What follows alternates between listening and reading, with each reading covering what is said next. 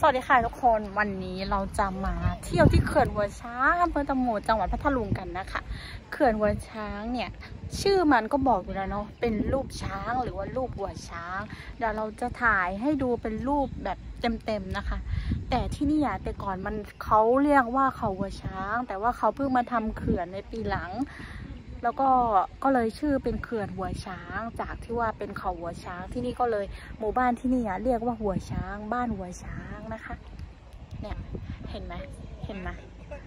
ไกลปูนเลย มันจะเป็นสถานที่ท่องเที่ยวแห่งหนึ่งของจังหวัดพัทลุงด้วยนะคะ มันจะมีเรือเช่าแล้วก็ข้างในพูนที่ไกลเนาะเนาะเนาะตรงนู้นตรงนู้นเห็นไหมในหลุมนั้นอะอืม มันจะเป็นแบบน้ำตก แล้วก็เขาจะมีเรือเช่าเข้าไปไปนอนกลางเต็นท์นะคะ แล้วก็สำหรับเรานอนกลางเต็นท์แล้วก็จะมีน้ำตกให้อาบน้ำแล้วก็มีเรือแบบเรือพาไปเลยอะแบบสนุกมากเลยจริง ๆ ต้องมาต้องมาจริง ๆ